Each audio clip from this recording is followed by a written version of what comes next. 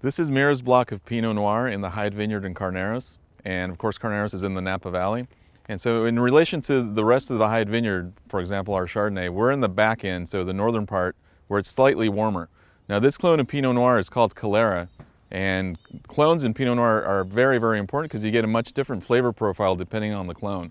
And not very uh, many places grow Calera clone, so this makes this particular site even more special. The Calera clone is, is a much, produce a much smaller cluster of Pinot Noir, so that tends to have a, a lot more concentration compared to other, other clones.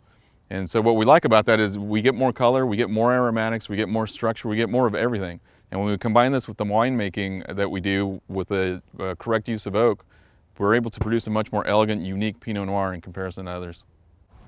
So just like with most of the wines, you know, we're limited how much we can make. So the Hyde Vineyard this year produced only 250 cases. How do the clones complement or challenge each other in the bottle? The clones can give you uh, different aspects of, of what you're looking for in the final product. So think about it as different colors you might use to paint. I like in, in the Stanley Ranch, it's a mix of different clones. The 115 clone from that vineyard tends to produce a wine that's a little bit more structure and earth. And I think in the case of the Calera, it's just such a unique clone that it does really well by itself.